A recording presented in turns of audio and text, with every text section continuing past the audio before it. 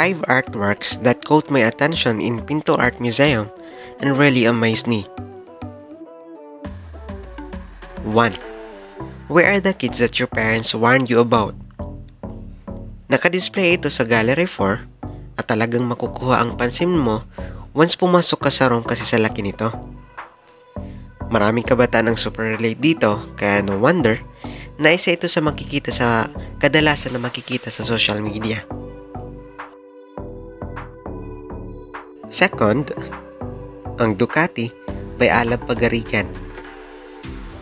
Isa ito sa mga obra maestra ni Pagarigan sa Pinto Art Museum. It features a life-size sculpture cast resin, wire, and also a real Ducati.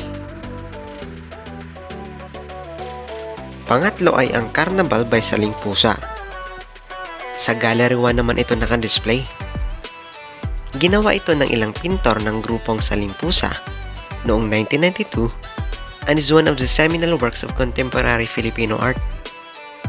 Ang tema ng Carnival ay ginamit bilang visual device upang erehestro ang kawalang kasiyahan ng artist sa mga naghahati-hati na socio-political na realidad na nagpawi ng euphoria pagkatapos ng rehimeng Marcos. Maaari nyo ring makita dito ang Darna sa malaking canvas na to. Number 4 ay ang Oblivious. Dito ako na-amaze at napasana all. Ito ay isang steel wire sculpture depicting a man and a woman. Ito ay makikita sa Gallery 3. At ang panglima ay ang mawalang galang po ni Joy Malyari.